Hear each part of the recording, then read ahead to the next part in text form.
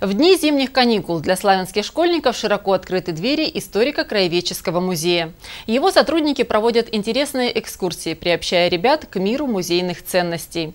Мы побывали на одной из таких экскурсий.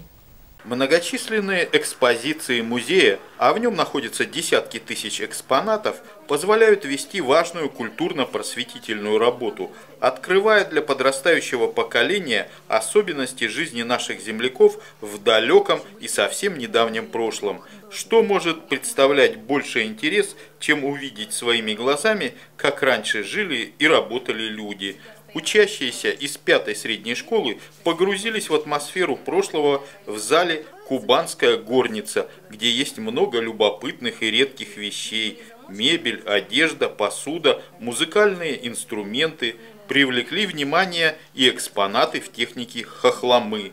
И, конечно, ребята заинтересовались выставкой советской игрушки и детских товаров. Затем школьникам рассказали об истории одного музейного экспоната, а конкретнее утюга, и об его применении в стародавние времена. Вот такие вот утюги с двумя подушками. Ручка эта снималась, то есть она убиралась. Пока одна платформа греется, мы другой гладим. Это остыло, мы быстро меняем ручку, эту ставим и дальше гладим ходе технического прогресса утюг постоянно изменялся к лучшему, становясь все удобнее для использования. Но на заре своего существования утюгом было гладить очень нелегко. Это было целое искусство. И гладить, конечно, было очень тяжело потому что ну, нужно было какое-то мастерство, чтобы выгладить и не прожечь, и не испортить, и не испачкать. Поэтому, конечно же, утюг – это самое главное в нашей жизни. Ребятам разрешили потрогать старинные утюги, поднять крышку и заглянуть вовнутрь. Они такого еще никогда не видели.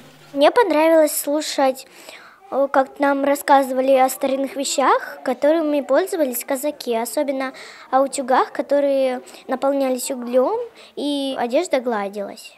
Каникулы скоро заканчиваются, но ребятам будет что вспомнить. Они совершили настоящее путешествие в наше прошлое. Андрей Вишневский, Игорь Ванчугов, программа «События».